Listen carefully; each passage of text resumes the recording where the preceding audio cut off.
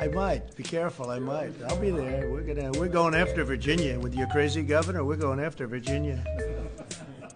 They want to take your Second Amendment away. You know that, right? You have nobody guarding your potatoes.